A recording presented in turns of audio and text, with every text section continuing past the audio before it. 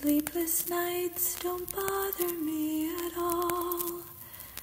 If dawn comes, I will worry. Something deep inside keeps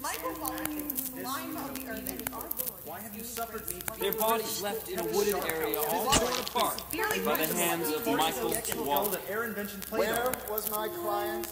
On stage, performing in his high school production of Stay Othello. strong. Keep fighting. How fighting. can you still maintain your innocence? There are absolutely no words to even begin to describe what we're feeling. Can you leave here today knowing this man who committed these kinds of dramatic, heinous, horrific displays We of and many other organizations like ours are working tirelessly to exonerate the wrongfully accused. By the end of the trial, after all discussions, there was no reasonable doubt. The death penalty as a Oh, choice is- so often puts people to death by manufacturing our own certainty of their guilt or innocence.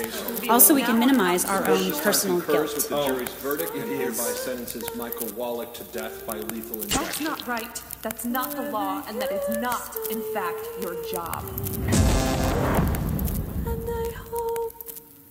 Further questions, Your Honor. you'll dream of me.